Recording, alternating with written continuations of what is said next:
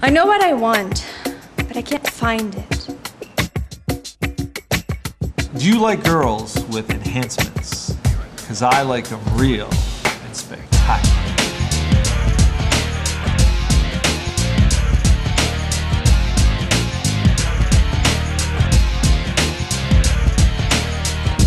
I need a man to enhance my life,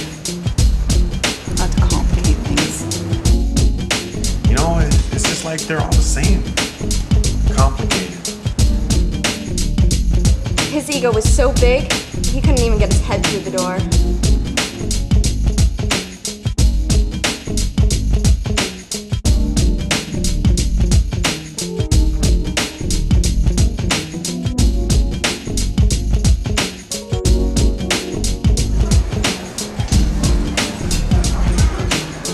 Hi, I'm Dr. Peter Sacco, and welcome to Fast Food Dating. How can I help?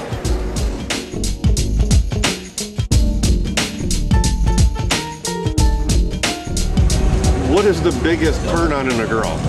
What do you look for? intelligence.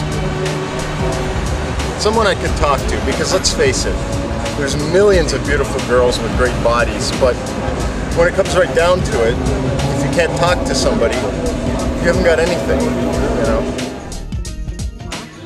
So, what is the biggest turnoff in a guy? Lying. When you can't trust him. I think cheating involves choice, and I think um, for whatever reasons people justify it, I think you have a choice, and I wouldn't get involved with somebody who made that decision. What would be your ideal girl to marry?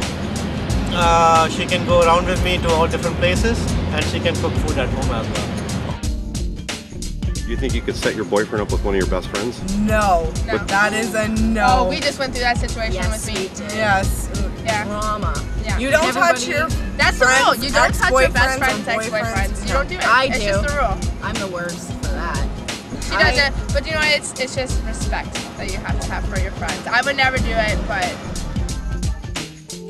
Uh, I just find there's really nowhere to meet single women, I guess. Like going to the bar is kind of pointless. What do you think? A lot of games going on in there? Uh, yeah, I think everybody's just out for, you know, a good time that night. You know what I mean? No one, I don't think anybody's really looking for any long-term relationships in bars. So that's my opinion on it all anyway. You take internet dating less serious. Um, to a degree, yeah, because it's not like it's easier because you're not up and personal and you're not like in the person's face. You can pretty much say what you want and get away with on the internet. And in person, it's the impression. Pretty much that's it. so on the internet, you have the option to, oh, I'm just joking, or you know. But in person, you don't really have that option. I'm just a single parent, right? So I haven't had a chance to do a whole lot of dating. I'm too busy taking care of my kids